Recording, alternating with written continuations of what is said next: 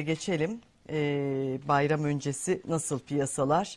Erdal Sağlam'a dönelim. Merhabalar, hoş geldiniz. Merhaba, kolay gelsin Eylül. Teşekkür ediyoruz. Ee, nedir durum bayram öncesi piyasalarda şu ana kadar? Halen o düşüş süreci devam ediyor mu kurlara ilişkin? Ee, ne dersiniz? E, tam, tam değil ama yatay bir seyir var. Bugün e, e, istihdam şeyi açıklandı e, Amerika'da. E, e, tarım dışı istihdam e, beklenenden iyi geldi artış. E, dolar biraz güçlendi gibi. Euro dolar paritesinde de euro aleyhine bir gelişme var. Onun için euro binde dört gibi düştü. Ama doların yatay binde birlik bir artış var. 31.95 34.51'de dolar kuru. E, bu şeyi e, Brent petrol e, daha doğrusu petrol fiyatlarındaki yükselme devam ediyor. E, OPEC toplantısından sonra e, bir de Amerikan e, petrol rezervlerinin düşük olduğu stoklarının e, açıklandı. Ondan sonra e, 91 dolar düzeyinde Brent petrol. E, bu olumsuz bir haber tabii bizim için. Altında da e, binde birlik bir düşüş var. Evet.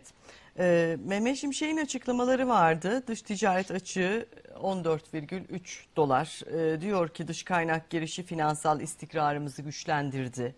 Tabii rezerv birikimi sağlayacağız dedi Ee, ve OVP'ye ilişkin cari açığı OVP'de öngörülenin oldukça altında bekliyoruz diye e, cari açık hedefini de e, söylemiş oldu. Nasıl gördünüz Şimşek'in açıklamalarını? Evet, bu dün söylemiştik. Dış Evet. ticaret rakamlarını konuşmuştuk. Onun üzerine açıklama yapıyor. O yine döviz açısından ele alıyor Mehmet Şimşek.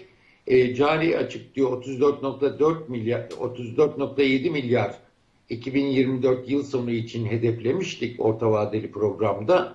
Ama bunun epeyce altında kalacak diyor. E, Mart sonu itibariyle de zaten e, açık e, 14.3 milyar dolara inmiş durumda yıllık açık. E, bu böylece diyor yüzde iki buçuk e, cari açığın milli geliri oranı yüzde iki buçuk hedefliyorduk ama bunun da altında kalacak.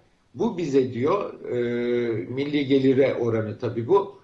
E, bu bize diyor e, tasarruf için daha doğrusu döviz ihtiyacımızı azaltacağı için rezervleri daha da yükseltme imkanı verecek diyor. Bu da makro e, finansal istikrara önemli katkılar sağlayacak diyor. E, özet olarak söylediği yani dövizle ilgili önümüzdeki dönem sıkıntı olmayacağı ve rezervlerin artacağı cari açığında e, bunu gösterdiğini söylemeye çalışıyor.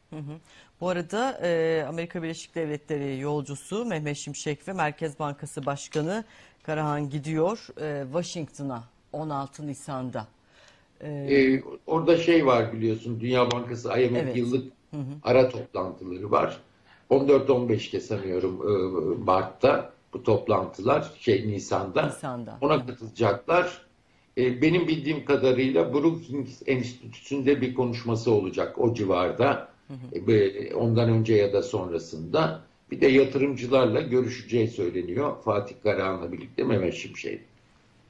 Bakalım nasıl bir dönüş olacak, neyle dönülecek e, onları da merak ediyoruz.